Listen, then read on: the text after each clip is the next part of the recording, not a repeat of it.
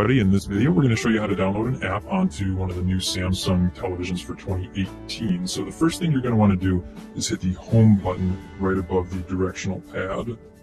So you push that and you're going to get a screen that looks like this. Now it's important to remember you are going to have to have a Samsung account set up to download the apps. So you will have to do that as well. It'll prompt you to do that uh, the first time you actually set this up.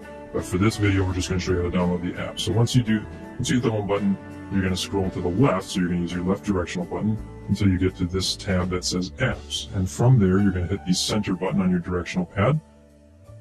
And it's going to bring up a screen that looks like this as long as you're signed into your Samsung account. Now, once you have this screen up, you can basically scroll through all of them. They have them categorized. There's editor's choices, most popular, and they break them down into different categories. But say we want to download the Xumo app. We're going to hit the right arrow button until we get there. And then you're going to hit the center button and it's going to bring up a screen that looks like this. Now, install is automatically highlighted. So because that's the case, we're going to hit the center button on our directional pad again. And it's going to install that app for us. And then once it's done installing, you have the option to open the app or close the app. Or if you scroll down again, or you go to close, excuse me, you have the option to add it to your home screen. That way it'll come up in that little bar that runs across the bottom of your screen when you press the home button. But it's as simple as that. That's how you download an app onto the new Samsung televisions. Thanks for watching and make sure you stay tuned because we're going to have more instructional videos on how to use your Samsung TV.